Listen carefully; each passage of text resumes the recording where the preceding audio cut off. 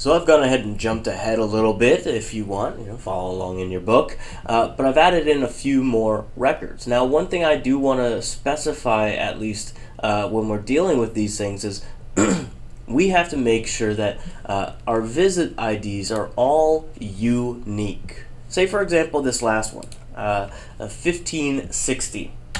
Say, for example, I had made it a little typo. I had said uh, 1564. 1564. I've already got a 1564 in here. Oh, and inside of Excel, uh, it didn't matter. As soon as I try and hit enter, and I move through this, you see what happens? I get a little error. Now, we have to read error messages because they tell us what's wrong. Again, the changes you requested to the table were not successful because they would create duplicate values in the index primary key or relationship. I don't know what any of those words mean. We will in a second. Uh, change the data in the fields that contain duplicate data, remove the index, or redefine the index to permit duplicate entries, uh, and try again. So it's not gonna let me. I can't save this. I can't. I can't move out of here. I can't do anything. Like I'm stuck. You see, I'm stuck now. And it's all because this guy is a duplicate value. Again, every visit ID is unique. That would be like your social security number being the same as somebody else's social security number. You don't want your, you know, credit to go down because someone else is taking out ludicrous amounts of loans because, well, they know your social, well, they have the same social as you. The same concept is coming in here. Because I have one here, again, I can't even change it. I've already committed to that one. Because I've made the change here, I have to do it. Now, in our case, I can either hit escape or I backspace 0, 1560 again. And now, because it's a unique value, there are no 1560s here. I can click out of it. There we are. Now, again, I clearly don't want to type all of these things, so what I want to go ahead and do is I want to go ahead and import them from another database. That Cindy uh, database that if you've downloaded the textbook files you have access to.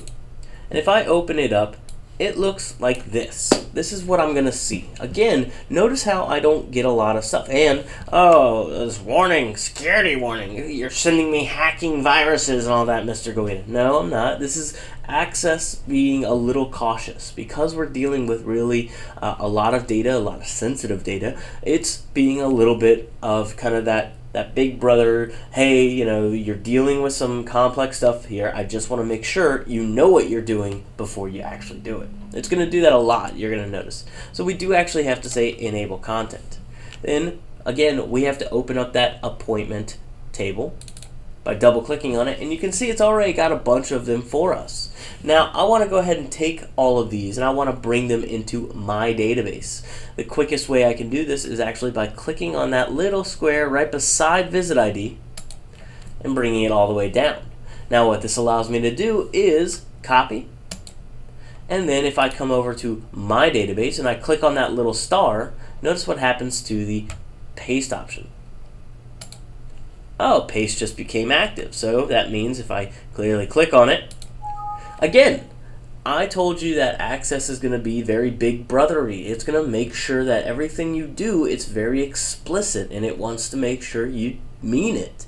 So as you can see, are you sure you want to paste these records? Because once you do, you know, they're committed. And if you have other back-end stuff working on that, well, you know, 76 records just kicked in.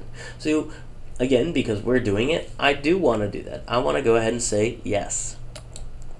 And for my sake, I can go ahead and close out of Cindy. Again, Access wants to very abruptly make sure that you are doing everything that you want to do. So you just copied a large amount of data. We did 76 records. That's a large amount of data in access terms. Uh, do we want to keep that in the clipboard or not? Well, do you want to save this data to the clipboard? In this case, we actually we don't care about it. We've already pasted it, so we're going to go ahead and say no.